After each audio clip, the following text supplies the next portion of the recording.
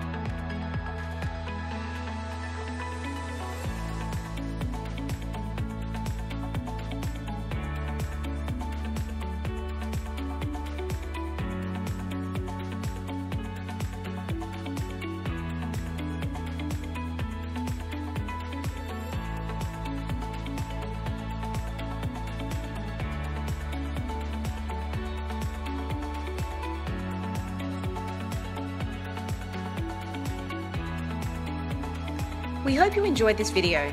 For more information about Makers Empire's 3D printing learning program, case studies, teacher resources and testimonials, please visit makersempire.com.